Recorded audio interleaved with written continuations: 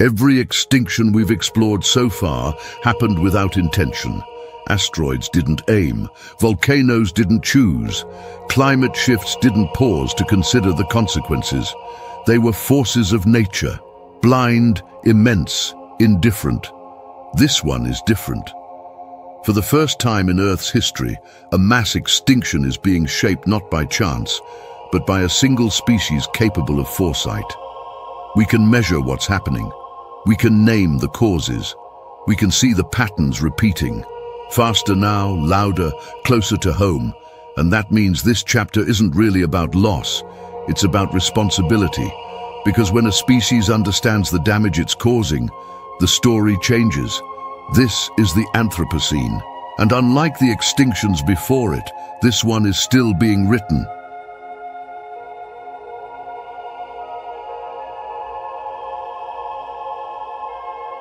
So now we arrive at the present, a moment unlike any other in Earth's history.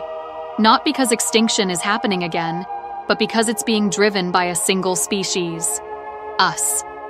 Welcome to the Anthropocene, a proposed new epoch where human activity is the dominant force shaping the planet.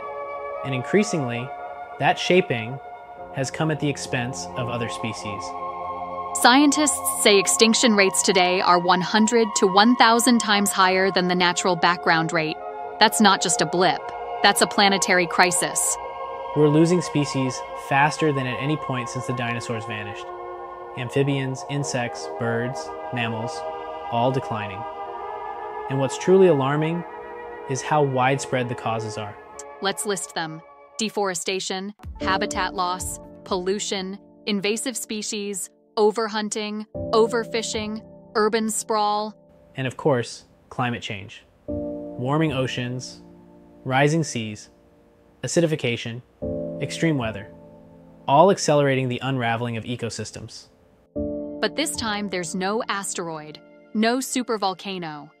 It's not nature turning on us, it's us turning on nature. Exactly. Elizabeth Kolbert in The Sixth Extinction, puts it powerfully. Humanity isn't just another species, it's a geological force. She starts her book in Panama at the Frog Hotel, a safe house for amphibians that are going extinct because of a chytrid fungus. And yet that fungus likely spread globally because of human movement. A single pathogen, accelerated by global trade, wiping out species by the hundreds. It's a grim metaphor for our impact. And it's not just frogs. There's the great auk, the American mastodon, the Baiji river dolphin, extinctions we witnessed. And many more we didn't. Species disappear every day that we'll never even know existed. So is this truly a mass extinction? Or just a tragic side effect of progress? That's the uncomfortable truth. It's both. Our industries, our expansion, our hunger for energy and resources, it's reshaping the biosphere. And if current trends continue, scientists believe we are on course for another big five level extinction.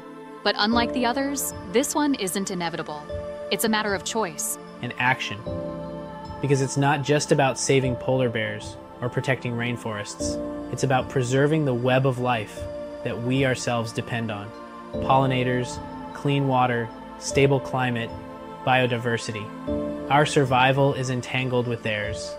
And there are people fighting back conservationists, scientists, local communities, protected habitats, breeding programs, marine reserves, rewilding efforts, and some success stories, like the California condor, the Sumatran rhino, and the gray wolf. It shows that when we intervene with care and purpose, nature can rebound. So the question isn't just, are we in the sixth extinction? It's, what role will we play in it? We can be the destroyer or the steward, the asteroid or the guardian. And that brings us full circle, because extinction isn't just ancient history. It's not locked in fossils or museum exhibits. It's now. It's happening in the forests, the rivers, the coral reefs. And the choices we make today will echo through time. So, what will the fossil record say about us? That we consumed without care? Or that we chose a different path?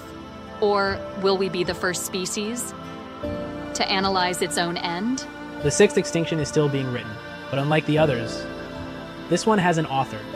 And that author is us. So, what have we learned? Walking through the ruins of five lost worlds and one that may still be saved? That life is resilient, but also fragile. That extinction comes not just in fire and impact, but in silence and slow erosion. And that we are not immune to the laws of nature. We are participants in them. Each extinction changed the world, not just by ending species, but by opening space for what would come next. Trilobites vanished, but vertebrates rose. Amphibians fell, but forests spread. Dinosaurs ended, and mammals began. And now we stand in a moment where the outcome is not yet decided. The sixth extinction looms, but it's not written in stone. Not yet. Which means we hold something no other species has held before foresight. The ability to see what's happening and choose what to do about it. And that makes us more than just witnesses. It makes us authors of the next chapter. So let's write wisely. Let's learn from the fossil record, from the stars, from the silence after impact. Let's remember that extinction isn't only about death, it's about transformation. And if we choose to act, if we choose to care, we may yet become the caretakers of a world that continues to thrive.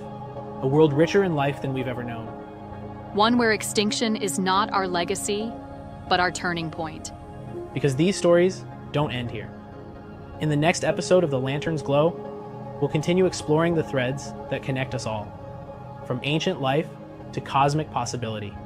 Until then, all is one.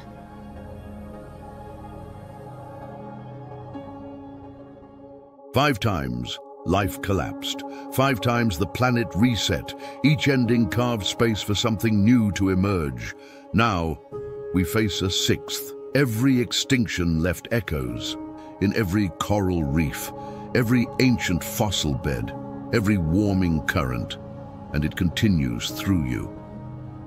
But this is the first time the echoes are calling forward, not backward. A warning, a chance. We stand on the knife edge between collapse and renewal. We are no longer just witnesses, we are authors. And the choices we make today will echo for millions of years. If this journey stirred something in you, share it. Not for us, but because knowledge travels like sparks, and the more of us who carry it, the brighter the flame becomes. So let's write wisely, stay curious, stay kind, and keep the flame burning. This is the lantern's glow. All is one.